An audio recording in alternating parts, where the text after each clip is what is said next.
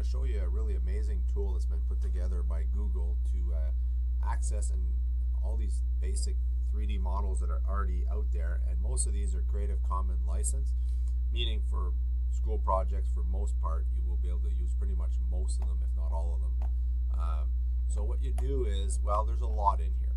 Okay, I want to start with that, and there's like a lot of like panoramic views, and there's a lot of other Google bells and whistles that are built in that are not really what you need to look for for our basic project. So what I'd like you to do though is if once you go to poly.google.com, click and then what you'll notice is uh, in the explore section there's stuff that could be blocks could be useful but since we're building landscapes uh, the one that's probably the most useful would be nature or architecture so let's go to architecture to see is you're going to see different types of models so what you're doing is you're looking for models you could bring into your game so, uh, you know, right off the top, I'm just going to go with this one.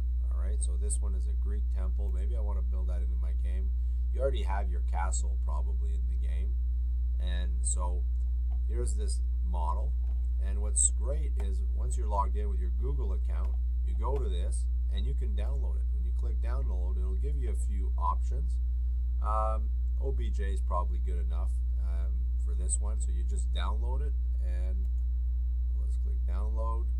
And so under a, a Creative Commons license author must be credited.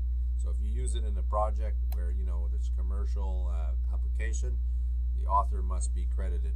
Uh, so you know we're not going to use it commercial projects. If you just bring it into your game that's fine. So it drops it down as an archive so you'll have to unzip it and then you can bring it into your game so if you have any questions that's how you could use uh, poly.google.com to find assets for your game.